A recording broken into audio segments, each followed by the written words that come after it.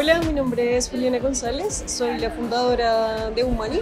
Pueden encontrarnos en redes sociales como humani.co y estamos acá en la Feria de Emprendimientos de LSI Bogotá. Pues quiero agradecerle a la universidad por darnos estos espacios.